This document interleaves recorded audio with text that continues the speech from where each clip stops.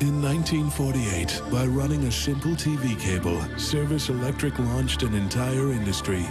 In the 56 years since, we've reached many milestones, like giving your life clarity and definition, connecting you to the world faster, and letting your voice be heard while never forgetting what got us here. Service Electric Cable and Communications, a clear vision for the future. Welcome to Lehigh Valley Sports Scene.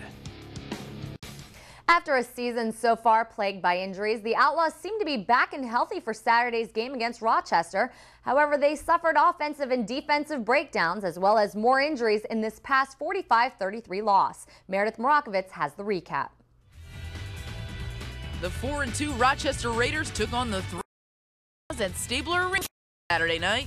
The Outlawz had revenge on their minds after losing 90 to 45 in Rochester just a few weeks ago. Picking up the action in the first quarter where Matt Cotton Jim was getting it done, he made it look easy as the Raiders took a 7-3 lead. Just minutes into the second, Cotton Jim would find Noah Farron back in the end zone, score now 14-3. The Outlawz fired back as Steve Cook runs it in. Then the defense would capitalize on a bad snap. The Outlawz are within two. Chris Reed would hit two field goals to give Lehigh Valley an 18-14 advantage with 9.8 seconds left on the clock. But Rochester manages to come back thanks to Mo Jackson's unbelievable catch. The Outlawz coaching staff argued, but the touchdown would stand. Raiders up 21 18 at the break.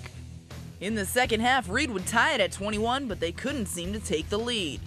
Reggie Cox would find the end zone twice. As would Lehigh Valley's Steve Cook, he'd tally three touchdowns on the day. The Outlawz would bring it within five, however, they'd fall apart in the final minutes. Rochester wins 45 to 33. Jim, this has got to be a time where you're extremely frustrated, knowing this was a very winnable game. Oh, real winnable. Um, game was right there to the end. That, that, that last call at the end, we, I mean, we've been struggling through bad calls all night.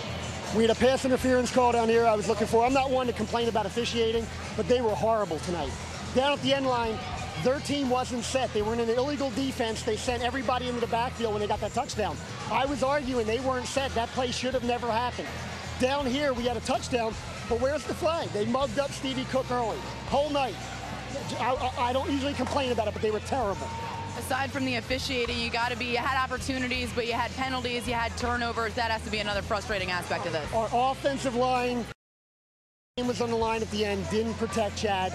Chad forced three balls over the middle late, which is the, the first no-no of quarterbacking. You don't throw a ball deep down the middle, you know, or late down the middle.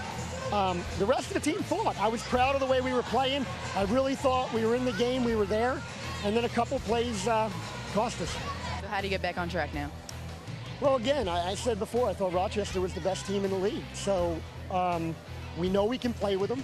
We know a couple balls bounce our way here. We beat them. So we know we're there. We just have to come together as a team and get there. On the scene at Stabler Arena, Meredith Morakovitz, 2 Sports.